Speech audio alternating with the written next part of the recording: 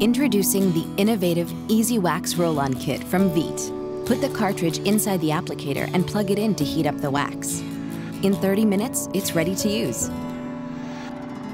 While plugged into the dock, the wax is kept at the perfect temperature.